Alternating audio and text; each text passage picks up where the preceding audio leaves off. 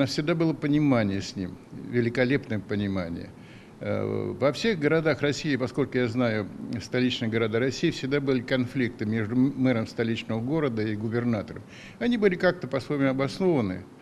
Но я понимал, и он понимал по своей культуре, что любой вопрос, который у нас возникает, это вопрос жизни города, жизни людей. И мы всегда старались искать э, понимание и находить ответ на этот вопрос, не устраивая никаких конфликтов. Многое мы не понимали, как поступать, как в той или иной ситуации, какие решения принимать.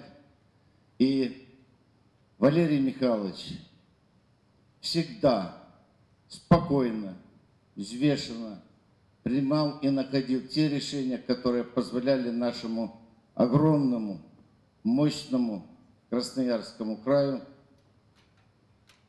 но не проваливаться потому, в том или ином направлении. Он книги, когда мне дарил, как правило, примерно такая была запись.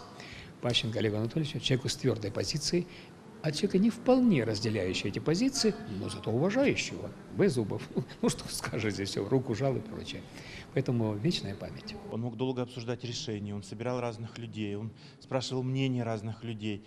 И даже приняв решение, он мог потом признать ошибку. И, и это очень редкое свойство. Свойство, вообще говоря, ученого и интеллигента, попавшего во власть. Вот это, конечно, конечно, отличительная черта для управления Зубова. Валерий Михайлович Зубов а, оказался единственным депутатом Государственной Думы, за голосование которого а, в последние годы было не стыдно. Он всегда голосовал не как скажет партия, а как он действительно думал. И он всегда говорил так, как он считал нужным, а не так, как э, э считает там партии правительства. Да? И как он был ярким губернатором, одним из самых ярких, также он и был одним из самых ярких, запоминающихся и, самое главное, независимых депутатов Государственной Думы.